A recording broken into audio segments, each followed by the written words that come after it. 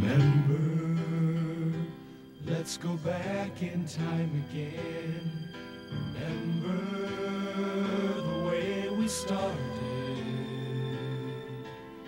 Everything was new 25 years ago.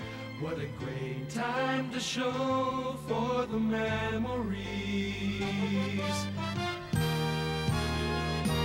Looking ahead, that we can share.